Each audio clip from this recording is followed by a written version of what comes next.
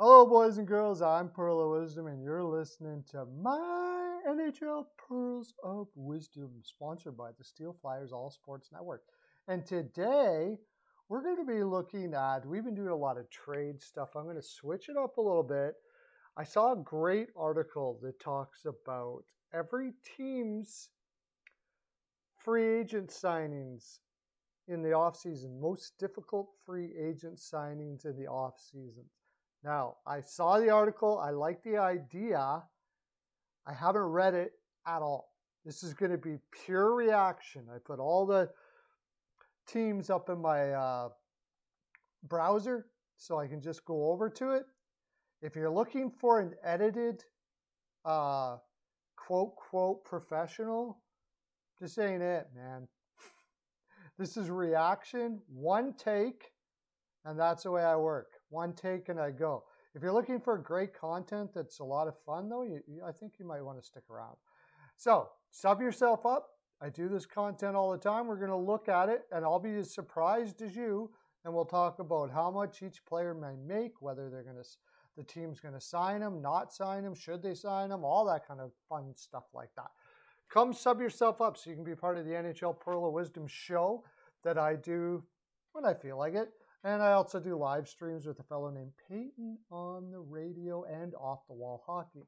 So sub up, get part of the fun. Let's go look at it, shall we?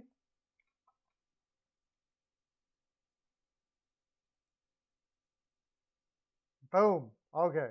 Every team's toughest free agent decision. This is uh, restricted and uh, restricted and uh, UFA, either one. So this is from Franklin Steele. It's off of Bleacher Report, actually. I haven't did something off of Bleacher Report for quite some time. As you can see, it looks like we know maybe which one Pittsburgh is. But let's look at every one, every team, and then I'm just going to go see off the top of my head, pure reaction, how much they might sign him for, how much they may not sign him for, all of those sort of things like that. Starting off with the Anaheim Ducks and Sonny Milano. And uh, it's, see, it's Sonny Milano is a very difficult one because this has really been his first decent year. Uh, he's only 25 years old, as it says in the article, um, but he ha- he hasn't made all that much of an impact up until now, uh, as it says here as well. Um, two it, with his last two, he was in the AHL last year actually. Um, came up and found some chemistry with Zegras, and now he's a restricted free agent. When he was with uh, Columbus, I remember uh, Tortorella really being frustrated with him seemed like there was a maturity thing going on there. So, okay, let's look at Sonny Milano. Okay, now, when they first brought him up from the AHL this year, which was early on in the season, he was right there with uh, Trevor Zegras, on the line with Trevor Zegras. If you remember that Trevor Zegras did a little flip pass, by the way, Anaheim fans, if you like this type of content, I do this all the time, sub yourself up. He did the little flip over the net, and the guy who knocked it in knocked it in was Sonny Milano. They were just flying earlier early on in the season, but now, as you can tell, he had a little bit of an injury issue. Came back, and they got him on the fourth line with Isac Lundestrom and Gerald Mayhew. Um, now, there could be a lot of reasons for that, but it would be odd that they wouldn't put him back up with Trevor Zegras. Uh, playing with Isac Lundestrom, I know one thing reason why they may do something like that is Isac Lundestrom is a fantastic defensive player, and my in- inclination here is that uh, the coach Dallas Eakins would be kind of like encouraging him to watch Mr. Lundestrom because we need you to play a little better defensively. And uh, sure, Tortorella in Columbus talked about that a lot. Also, he's uh, he, you know conditioning has been an issue, all of that sort of stuff. So let's look at his contract. 1.7 million Uh, he's 25 years old, so he's a restricted free agent, and he made 1.7. They need to give him at least a qualifying offer, which would put it around 2 million to start off with. Now, that's all they have to do. They can give him a one-year deal here, and he's a restricted free agent next year. And honestly, when we look at his stats, let's see, as you can see, he was in Columbus, he had 18 points. Uh, 22 points a year before that. He he looks, if you watch him, he looks like he's got all the skill that you would want in a player. But I think conditioning and uh, possibly maturity and defensive play has really held this back. This has been his best year, career year, 31 points in 58 games. Not bad, but not spectacular. I don't worry about the minus 10. I'm not a I'm not I'm more of an analytics guy than I am plus minus guy, but whatever. If you take that into consideration. But 31 points in 58 games is okay.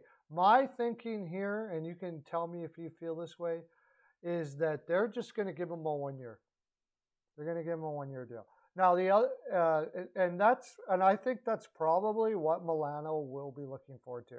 He's going to want to prove that he can improve like he did this year, next year, and then go for a bigger contract after that. Otherwise, I'm probably not paying much more than two, two point five for a couple more years. And and Sonny Milano, if he believes in himself, would probably be selling himself short to sign that contract. So my thinking is Anaheim's just going to give him a qualifying offer, stick to the one year. He'll be 26. I do believe that he's going to be able to go to arbitration after that. And, you know, things could get dicey then. But if he has a really good year, Anaheim does have cap space. So they probably would sign him up. It's not a very, it's not one of the more difficult signings, but I think that's what's going to happen. Okay, next. Arizona, Lawson Crouse. This is a very interesting one because Arizona is going to a 5,000 seat arena next year. I'm not sure if you're aware of that. Um, and they really have a, you know, it's going to be tough for them to give a lot of money to anybody. But Crouse is the toughest player they have. Um, he's he put up some really decent points this year that he may not have been able to put up on another roster. He probably wouldn't have played that high up in the lineup. Uh, however, he's been a good soldier, and I'm pretty sure that they're interested in. He's he's got a lot of speed for his uh, for his size. So we'll look at well, let's take a look at him. Yeah, I think he's injured right now. Yeah, he's on the injured reserve right now. And he's 24 years old. Um, 1.53 million, and I get. Arizona doesn't have to worry about cap space, but they do because they're going to be on in the cap floor. He's making 1.5 million this year. He's 24 years old. This screams bridge deal up until he's a free agent. I think that's what's going to happen here. Um, hard to put a number on a guy who had 34 points in 65 games, but has never had more than 13. Well, I guess he had 25 points, 25 points in 66 in 2020 as well. He's definitely more than 1.5 million. That's for sure. Um, I would say he's a restricted free agent, so I, I doubt he's asking for a trade. I've heard that he really loves it there. He is big. He has speed. He can be an offensive player for Arizona. I think you're looking at about three, 2.73 million for a couple of years right now. And I, I think Lawson Crouse would be okay with that. Just double his salary right now. It puts him in a price range of like the Tanevs of the world and stuff like that. And that's probably not far off from what he is.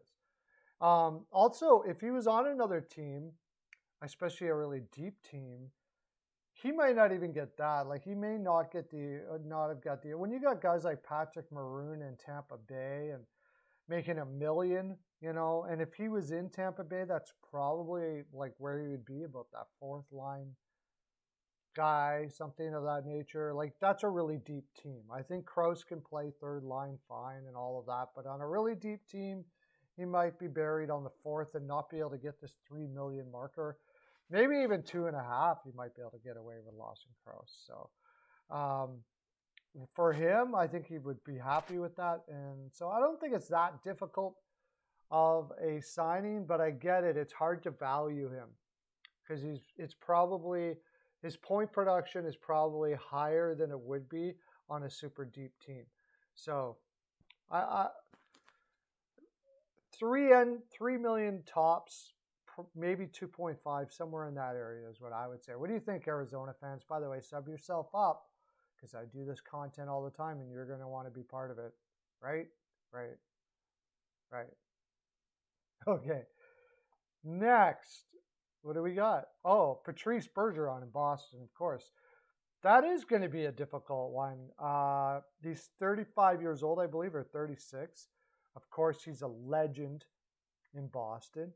Uh, we'll take a look at his point per He's 36, so he's also a favorite. He's still a Selke favorite.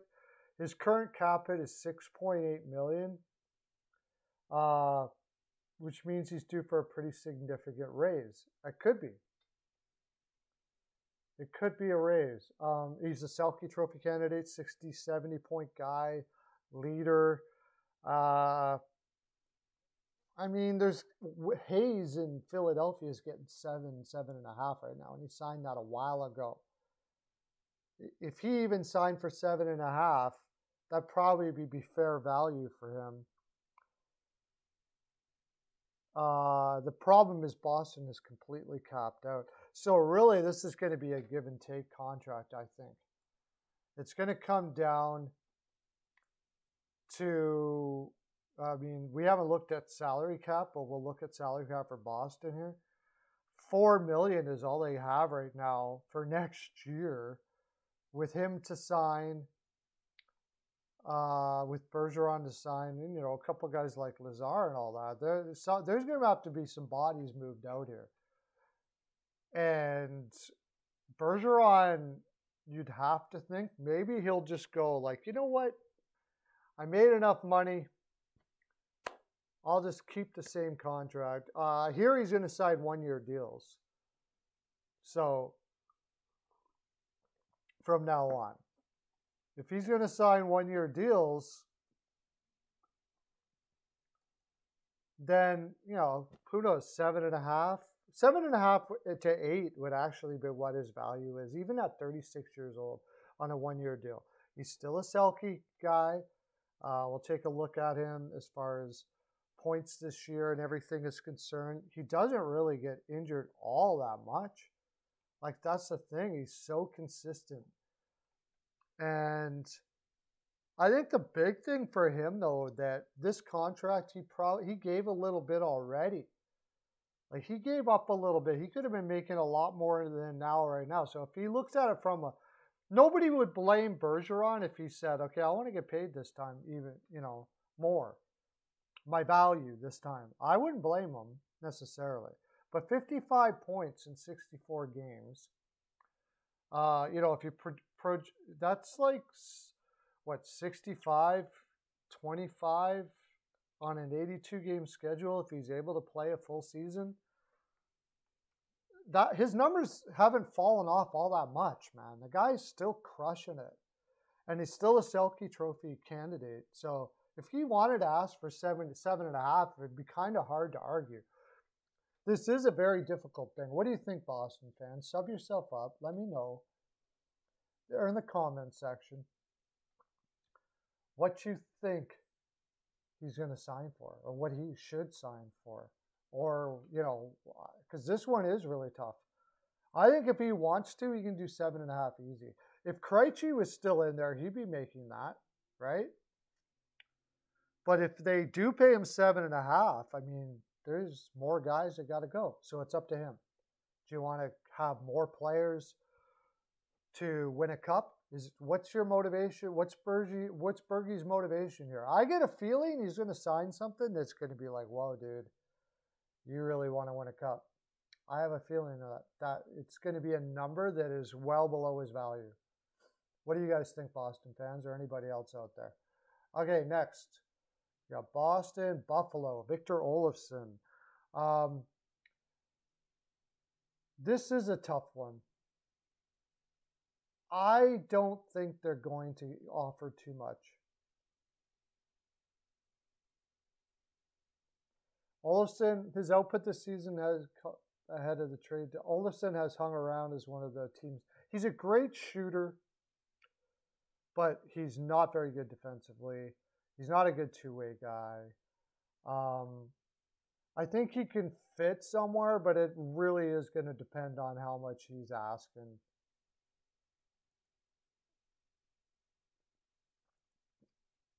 Like if he's asking for Oh, I missed Buffalo. Oh, there we are, Buffalo. Uh, if he like he, on the open market, he, he's making three, and he's a restricted free agent. So they they got to give him a qualifying offer, which will bring him to free agency. Uh, Buffalo doesn't really need to worry about. I'm not even going to look at their cap space because they don't really need to worry about cap space. They're in the bottom of the league at cap space. It's possible that they trade him to someone and get like a middle pick, he really has fallen off as of late. Like, look at his numbers. For a guy who isn't the greatest defensively, he doesn't put up numbers that knock you out. Like 18, 20 goal score, 20 some goal score, 39 assists. But it, it's just if you watch him play, it's pretty meh. Like he doesn't do all the little things you want from a player of his stature. Um, I think they're either going to sign him, they're going to give him the one year, bring him back for another year because they do need goal scoring anyways. So they'll give him a qualifying offer, and then you know maybe see what he can do with that qualifying offer, and they can. If, if he changes it around a little bit because he's still a young guy, if he starts to play with a little more desire, that's the word I'm looking for. Uh, a little less perimeter, his shot is amazing when you consider he's pretty much a perimeter guy and he can still pot 18 goals. Um, on the open market, I wouldn't be surprised if he pulls four and a half. Somebody will do it. Like some team that has a lot of good defensive players, like say the Islanders, but need that one shot shooter. I could see them ponying up a little bit for him.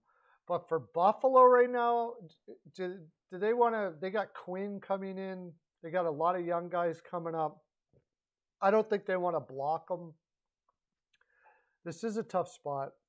I think they either trade him at the draft for as high a pick as they can pick as they can get to some team that maybe thinks they can get more out of them uh, and has some cap space, or they give him a one-year uh, qualifying offer and he hands out to free agency next year if he doesn't have a better year or they trade him at the deadline. That's what I think they do. So, but, but Sabres fans, what do you think of, uh, of uh, Mr. Olofsson? What, how much should they sign him for? Do you agree with me? Should they keep them? Uh, next, oh, why am I going here? I want to go here. Cover. Johnny Gaudreau. I mean, I'm not even going to go too far into this. Johnny Gaudreau is getting 10 million plus, 10 million at least. If he gets if he gets less than 10, Calgary's doing really well. Uh, um,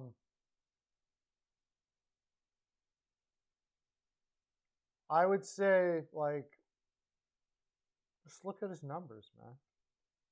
Look at his numbers. Johnny Gaudreau, top line left winger, putting up just sick numbers again.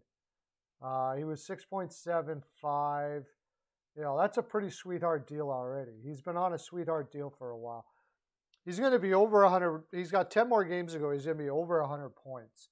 There's only been a couple players in the league right now that have done that, like Marner, Panarin, Huberdeau. Huberdeau will get paid, or already did. Can't remember. Anyways, those guys are making 11.5. And he almost hit 100 a couple years ago as well. Had a bit of a dip in production where all of Calgary all of the Calgary uh, players really did. The whole team had a different production, but he's gone off again. I mean, unless he really does a hometown discount, he's getting 10. And Calgary's doing it. Like, and uh, what I heard actually is that the deal is done. They, it's actually, it was actually said publicly. Uh, I on Sirius Radio. I couldn't remember. I can't remember now who was the spokesperson that was talking. It was an ex-player, and he, anyways, he has the inside information. He said the deal's done. It's, don't worry about it. He's going to be signed, and uh, I think that's ten million dollars a year, my friends. So how is that going to be for Calgary? It's they're going to start getting like you got 10 million plus you got Chuck. I think they have 27 million to work with this year. If I remember, yeah, 27 million. That's going to get dicey because because Tkachuk's got to get a qualifying offer at least. They're going to sign him long term. I'm sure of it. Probably nine million. That leaves you seven million to fill out your roster, but you just you got to do what you got to do, man. No way you're letting Gaudreau go, right, Calgary fans? You think he's getting 10? Sub yourself up so you can be part of this contract, this uh, content, and tell me all this. And give me all this. And comment and listen to this all the time. I'll be doing stuff like this all the time. But I think he's getting 10 million. Next, we got Carolina. Tony DeAngelo, the man making a million dollars a year after a little bit of a fiasco in New York. And uh, when they did, when that all happened, I, uh, I I thought it was probably overblown. Obviously, Carolina did too. They had a lot of guys who played for the Rangers there, um, and obviously they would have asked for him Fost and or Fast, Fast or Fost, however you want to say it. Um, Skjei, Brady Skjei, Stepan, I'm sure they talked to all of them and said, you know, whatever. They obviously thought he was going to be okay. But he signed a million dollars a year contract, and now he's got to get another contract again. And yeah, I would say this is one hell of a difficult contract to decide how much to give the guy. Because Carolina is pretty good. Yeah, they got 20 million in cap space. Uh, they're pro, uh, from what I understand, they're not signing Vinny Trocheck, but they're going to have to fill that center spot somehow. Uh, I don't know what they're going to do with Max Domi, but it looks like they have the room to give him a, a good raise. And, and uh, from all I've heard, they're pretty happy with him. He's 26 years old. He's a restricted free agent. But the thing is, his what is DeAngelo? Where's his motivation going to be? because first of all, they gave him a chance when not too many people were willing to give him a chance after he left Arizona, had issues there. Montreal seemed to have was it Arizona to Montreal, I believe. And then New York, oh sorry, no, it was Arizona to the New York Rangers, and then had that big kerfuffle with the goaltender there, Georgiev or whatever. I don't know exactly what it all was, but it was enough for them basically to nix his contract you know, not really nix his contract, but buy him out, let him go, get rid of him. Just like you're never playing here again.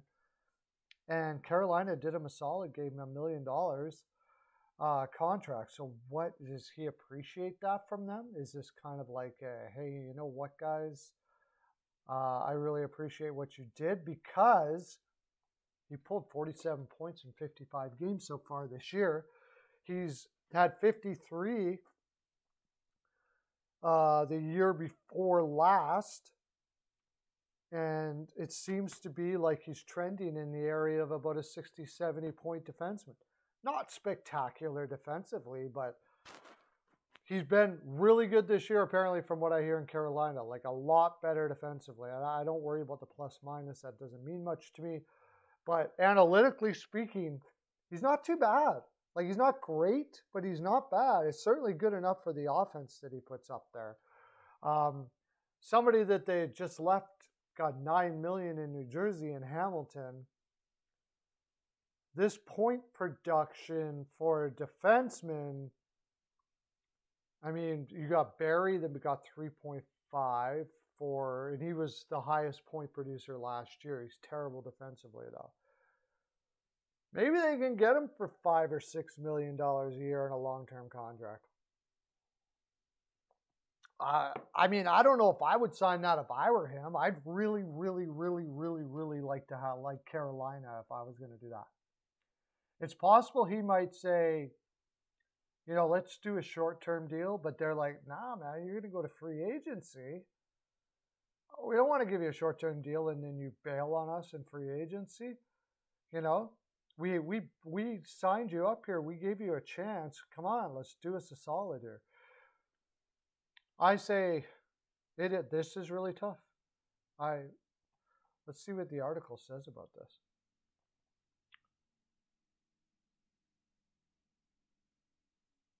Yeah, it's almost a foregone conclusion that he'll hit the market. So the Rangers bought out his contract. He's on pace for more than 50 points this year. However, a defenseman like that can get paid if they want to. Yes. I think basically I think they're going to offer him 6 million for a longer term contract and it's up to him if he wants to sign it or not. This is going to be very difficult. Uh, they wanted I remember them wanting to sign Hamilton to about that 6 or 7 million or something like that and they weren't willing to go nine. I think Hamilton is better defensively, and I know Carolina fans are like, he wasn't good defensively. Analytically, he's a possess- he's a possession driver. Uh, defense isn't all just blocking shots. Defense is spending more time in the offensive zone and the defensive zone a lot, and Hamilton did a lot of that. Uh, maybe they can get away with six, six and a half. I think it's going to be a tough decision for them. What do you think, Carolina fans? Sub yourself up. I want to know what you think. What should he sign for? How much? How long? What's the term? All of those sort of things like that. If I could get him for six and he's willing to sign for eight years, I'm doing it tomorrow myself. I would definitely do that tomorrow. Okay, next.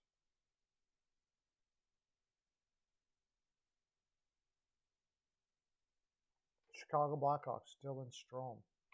Right. Okay. Um, Dylan Strome is a very difficult one to sign because he's really hasn't had a great year. He's very poor defensively. Uh, his skating has been an issue. He was in Jeremy Colliton's doghouse when he was there, and I can understand why because he misses assignments all over the ice. But his offense is great. He's, he's, he's very good offensively. So what do you sign a guy like that for? Uh, personally, for me, I mean, let's look at his numbers. We'll take a look at his numbers. You got to remember, Chicago's tapped out too, and apparently they're not trading Kane or Toews. I don't think that's because they don't want to, as much as they, you know, ironclad no movement clauses. They're not going anywhere. They have 22 million in cap space with Kubalik, who I hear again, uh, there there was rumblings of trading him. Kirby Dach is going to get paid a little bit for sure at 21. He's, he's probably going to get three to three and a half million. But nobody really huge to sign here. It's just a question of whether the how much they like him. And how much does he is does he want to get? He's 26 now, and and he put up the best numbers of his career. It's 43 points in 59 games. Not bad. Though he had 51 points in 58 for Chicago one year as well. Again, he's not great defensively. Does the new management like him? I wonder if he'd take five million for another five years or seven years or something like that. That's kind of what I think the offer is going to be for Chicago. I wonder what Strome is going to take on that. He goes on the open market. If he like next year, if they just give him a, if they can't get a number for a long term contract, and they just sign him to a uh, qualifying offer, he goes on the open market. He for him, he might gamble on himself, put up another 60, 70 point season, and some general manager might go off on him. But hmm.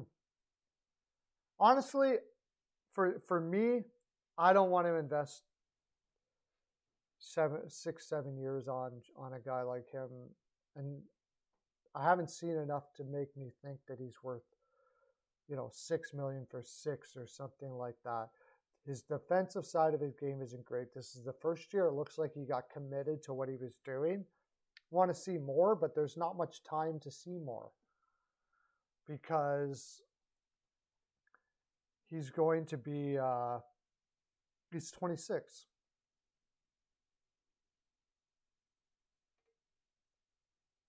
It seems like the best route here would be a prove it deal. Yeah, I think so, but then he's going to be a free agent. So then you can make up your mind from then and then you you know, trade him at the deadline. That's probably what's going to happen. Prove it deal, trade him at the deadline. Colorado Avalanche and Nazem Kadri. This is a tough one for Colorado for sure. We'll look at it a little bit. He's having a killer year, like almost a 100 point year on his contract year, and he hasn't even come close to that before. Uh, overpaying him for what he did in 2021 would be a misstep. Yep. So he's got his hands full with numerous negotiations this summer. We'll take a look at that here right now. Uh, and somewhere along the line, they got to figure out what Kadri's where Kadri's going to fit. I think they're going to have a really difficult time with this contract. Honestly, it, it really it kind of depends on Kadri and what he wants to do with himself, because just as much as you shouldn't pay a guy on one good year. Centers like Kadri are hard to find. And if you and if a team doesn't have one, they have a tendency to overpay for him. He made four and a half million. He's he's 31 years old already, and uh, Colorado's got to sign find find money for Burakovsky if they want to keep him. Uh, Josh Manson again. You know, there, there's a lot of question marks on this roster as to who they're going to sign and who's not, who they're not going to sign. I think you got MacKinnon coming up again after next year. He's going to get paid 11 million, 12 million, something of that nature. Uh, don't you have Makar coming up here again? No, they signed him already. Uh, Erik Johnson will come off. They're not too bad. He's going to get paid. Nazem Kadri is going to get double the money that he has right now. Eight million,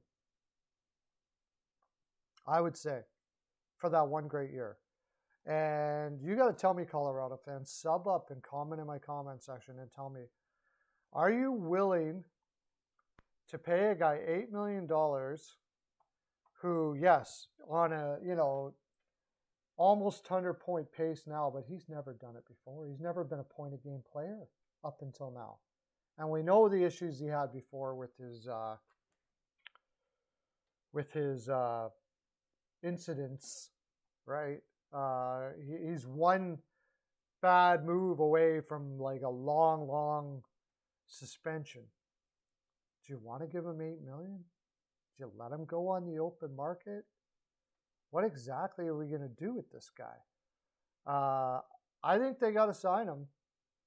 I, what do you? I tell me. Just let me know. Like I, I, I think it's eight million dollars a year.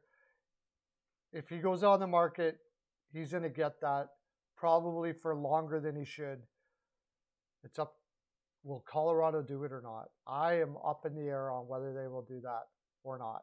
All right, I'm going to finish the rest of these Again, we have 34 minutes here. We picked up, we did up to Colorado. I'm going to do another video after this, but I'm going to cut her off here.